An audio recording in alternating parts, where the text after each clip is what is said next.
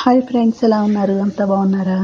నేను ఈరోజు మీకు దొండకాయలతో ఒక వెరైటీ కర్రీ చేసి చూపిస్తున్నాను. దొండకాయలు అంటే ఇష్టపడిన వాళ్ళు ఎవరైనా ఉంటే ఈ కర్రీ చేసి పెట్టారనుకోండి మళ్ళీ మళ్ళీ ఇదే కావాలని అడుగుతారు. అంత టేస్టీగా ఉంటుంది ఫ్రెండ్స్. ఒక్కసారి ట్రై చేసి చూడండి మీ మీరు. మీకు దీనికి కావాల్సిన పదార్థాలు ఎలా తయారు చేయాలో మీకు చూపిస్తున్నాను. చూడండి. ఈ విష మీ వీడియో మాత్రం అస్సలు మిస్ కాకండి. మా ఈ ఛానల్ని మీరు ఫస్ట్ టైం చూసినట్లయితే సబ్స్క్రైబ్ చేసుకోండి ఫ్రెండ్స్ లైక్ కొట్టండి షేర్ చేయండి ఫ్రెండ్స్ తప్పకుండా. ఇలాంటి మరెన్నో మీ మంచి మంచి వంటలు మీకు నేను చూపిస్తాను.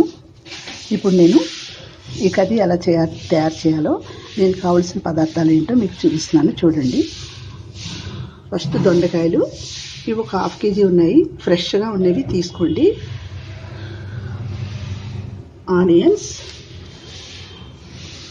రెండు ఫ్రెండ్స్ పల్లీలు చింతపండు నువ్వులు జీలకర్ర ధనియాలు ఒక్క ఇలాచి కొంచెం దాల్చిన చెక్క రెండు లవంగాలు సాల్ట్ కారం అల్లం వెల్లుల్లి కొబ్బరి ముక్కలు కొంచెం ఈ ఇన్ని తీసుకోండి. హాఫ్ కేజీకి నువ్వులు. ఈ నువ్వులు పల్లీలు కొంచెం వేయించుకుంటే పర్వాలేదు. వేయించుకోకపోయినా ఇలా అయినా వేసేయచ్చు. నేనైతే ఇలాగే వేసేస్తున్నాను. ఇప్పుడు దీన్ని ఇవన్నీ మనం చూపించినవన్నీ ఒక చింతపండు నానబెట్టుకోవాలి మనం. ఇవన్నీ గ్రైండ్ చేసుకోవాలి. చాలా మెత్తగా పేస్ట్లా చేసుకోవాలి. ఉల్లిపాయలు ఇవి కలిపి మెత్తగా పేస్ట్ చేసుకోవాలి. దొండకాయలన్నీ ఇలా కట్ చేసి పెట్టుకోవాలి. చింతపండు ఇలా వాటర్ పోసి నానబెట్టుకోండి. ఇప్పుడు ఆయిల్ వేసుకుంటున్నాం. దీనికి కొంచెం ఆయిల్ ఎక్కువ ఎక్కువ వేస్తే బాగుంటుంది. కరివేపాకు వేసుకుంటున్నాం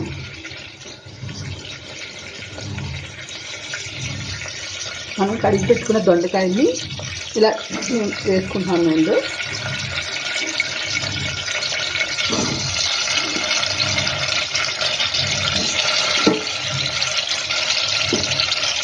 ఇప్పుడు ఈ దొండకాయలు కొంచెం పచ్చివాసన పోయే వరకు వేయించుకోవాలి మనం.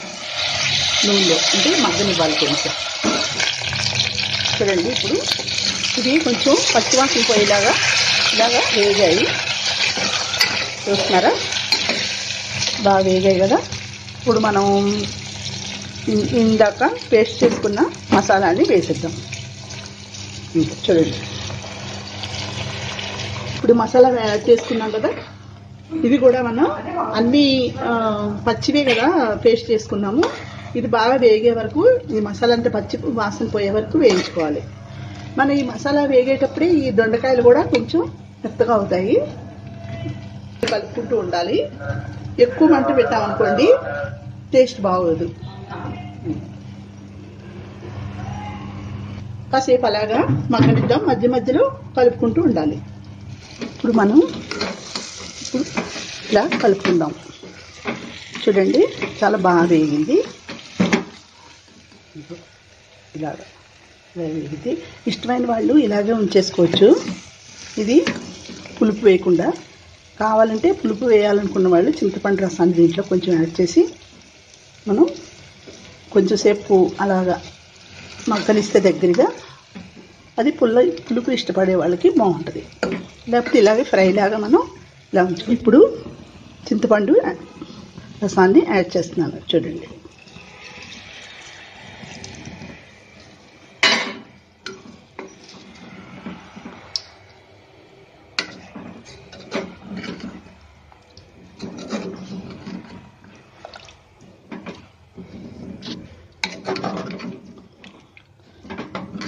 ఇలా మూత పెట్టి మనం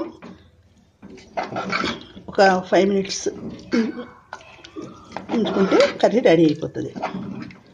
ఇంకా కావాలి మెత్తగా కావాలి తొందరగా ఫాస్ట్గా అయిపోవాలి మనకి అంటే ఒక్క విజిల్ పెట్టుకున్నాం అనుకోండి సరిపోతుంది. ఒక విజిల్కి చక్కగా ఇవి దొండకాయలు బాగా ఉడికిపోతాయి. మీకు ఇలా చూ ఇలా చూస్తే తెలిసిపోతుంది. ఆల్రెడీ ఉడికిపోయింది దొండకాయ. ఇది మనకి విజిల్ అవసరం లేదు. కొంచెం ఒక టూ త్రీ మినిట్స్ అలా ఉంచితే మూత పెట్టి రెడీ అయిపోద్ది కర్రీ. చూడండి కర్రీ రెడీ అయిపోయింది కదా? ఇప్పుడు మనం లాస్ట్లో ఓ రెండు పచ్చిమిర్చి కొంచెం మనం పులుపు వేసాం కాబట్టి దాని టేస్ట్ చాలా బాగుంటుంది బెల్లం వేస్తే. కొంచెం క- రవ్వ బెల్లం వేసుకోండి. కూరలు ఏదైనా సరే ఫ్రెండ్స్ కొంచెం లాస్ట్లో ఆ పులుపు మనకి ఆ పులుపు టేస్ట్ తెలియడానికి కొంచెం ఇంత ఇంత అంటే ఇంత కొంచెం. ఇంత బెల్లం వేసుకుంటే చాలా బాగుంటుంది. పచ్చిమిర్చి లాస్ట్లో వేయడం వల్ల బాగుంటుంది.